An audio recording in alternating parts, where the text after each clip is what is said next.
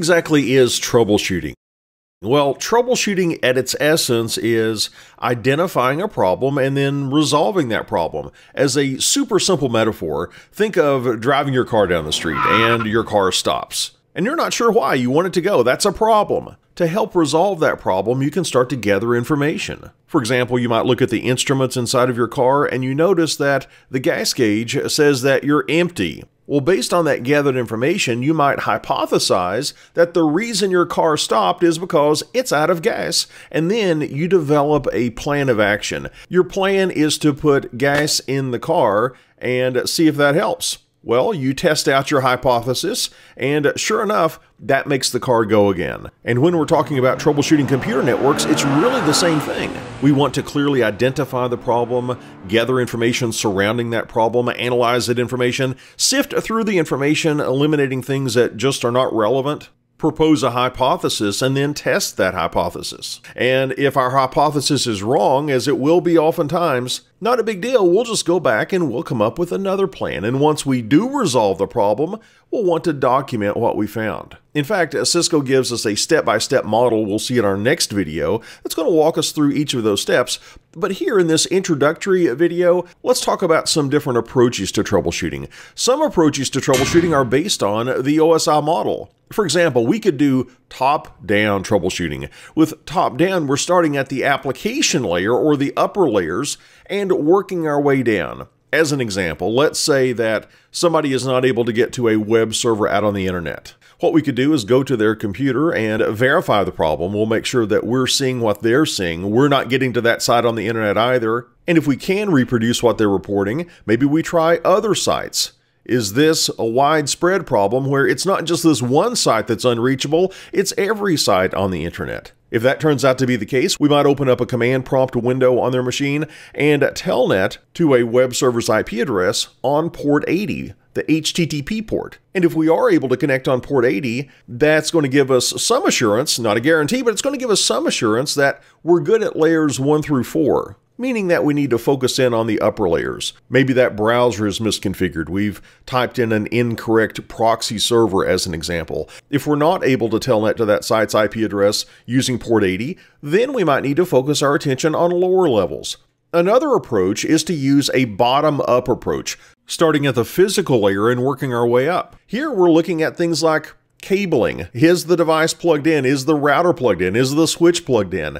And if it is, we can move up to the data link layer where we're making sure that our switches have learned appropriate MAC addresses. Then we can move up and make sure that the routers know about routes to get to a destination network. And the first example that comes to my mind uh, thinking about a bottom up approach is I was doing some network support for my church, and the secretary would occasionally call to say that her computer and only her computer could not get out to the internet. Well, I'd walk through a few things and I'd say, all right, I'll be out and check it out in a couple of hours. But before I went, she would call back and say, oh, it's all working now. Okay. And this went on and on, and there were all these intermittent issues. Well, finally, I went into her office to take a look at what could be going on. And have you ever seen those plastic chair mats? And they have those plastic spikes on the bottom that dig into the carpet. Well, she had one of those plastic chair mats underneath her office chair, and running underneath that plastic chair mat was the Cat5 cable going to her computer. And those plastic spikes had punctured the Cat5 cable. And this Cat5 cable was super flat where she had rolled over it again and again with her office chair. That was an example of a physical layer problem. But generally, the approach I'll begin with is more of a divide and conquer approach. This is where we're not starting at the top, we're not starting at the bottom of the OSI model. Instead, we're starting kind of sort of in the middle. We go in and we separate the upper layers from the lower layers and we do a ping. Can I ping the destination that is unreachable? Ping uses ICMP. We send an ICMP echo request. And if we get an ICMP echo reply, we know that we have reachability to that IP address. Now, technically, ping or ICMP is a layer 3 protocol. It does have some layer 4 characteristics, but technically ICMP is a layer 3 protocol, and if the ping works, that's going to give us some assurance that the bottom three layers are working, and we can start focusing our attention on the upper layers. If the ping does not work, if it fails, well, that's an indication that we need to focus on the bottom layers. Am I physically connected to my switch? Can the switch see its neighbors? If I do a show CDP neighbor command, And let's say the ping did fail. Another troubleshooting approach I might use at that point is to follow the path. Let's go out to a live interface and take a look.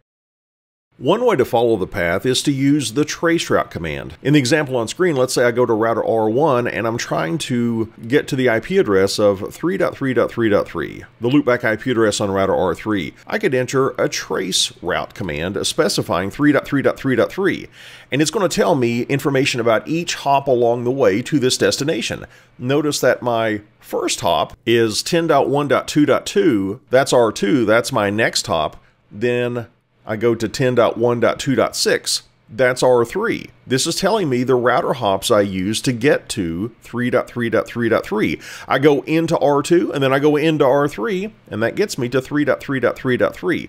However, let's say that there was a WAN failure between R2 and R3. Let's go into R3 and let's shut down interface serial 1 slash 0. Let's say interface serial 1 slash 0 We'll do a shutdown. Now we should not be able to do a trace route to 3.3.3.3. Let's issue the command again, and this time I still go to 10.1.2.2, but notice I'm timing out after that. I'm not able to get beyond router R2. Well, that's actually useful information if I'm doing troubleshooting. That tells me that I can start focusing my attention on router R2 and specifically the link between R2 and R3. I can get to R2, but I cannot get from R2 to R3. That's going to encourage me to go to R2 and check out things and go to R3 and check out things and see why those two devices are not communicating with one another. I might go over to R2 at that point and do a show CDP neighbors command and see that I do not even see R3 at layer 2.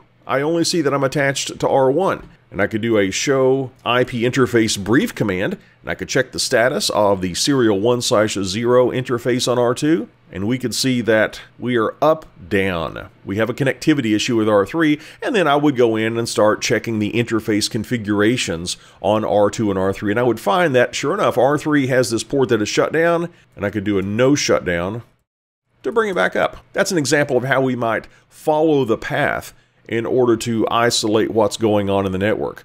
Yet another approach to troubleshooting is to compare our baseline configuration against the configuration that we see right now.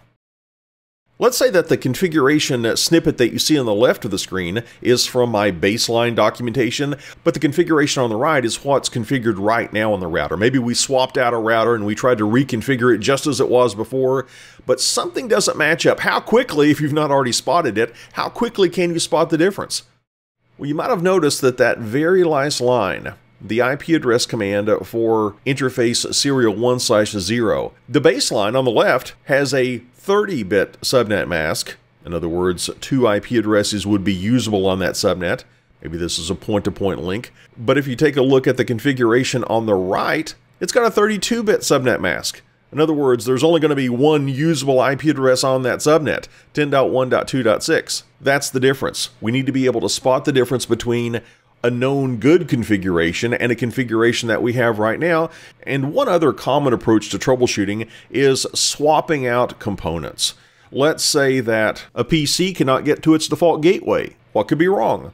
Well, it could be a bad switch port into which this PC is connected. We might try a different switch port. We might even, during a scheduled maintenance window, swap out the switch. And if swapping out the switch fixes the problem, we might have had an issue with that original switch. Maybe we swap out the fiber jumper going from a switch to a fiber patch panel. Or maybe we replace the Cat5, Cat5e, or Cat6 cable going from the PC into the wall jack. And we could also move different network components. We could swap Cat6 cables as an example and see if the problem follows the cable. We've got two PCs, one's working, one's not. Let's swap the network cables and let's see if the problem follows the cable. Well, that's a look at some really common troubleshooting approaches. And what we want to do in our next video is take a look at Cisco's structured troubleshooting model.